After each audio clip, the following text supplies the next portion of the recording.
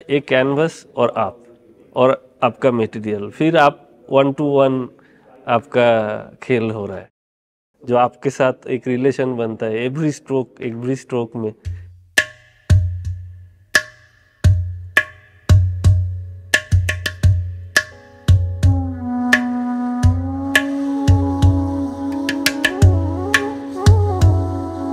In art, you can see outside and paint, and at the same time you can see inside and paint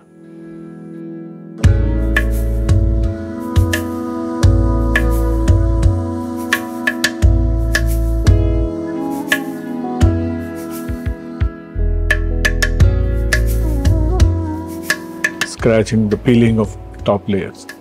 So it's like a journey inside. It's like going inside our uh, own self.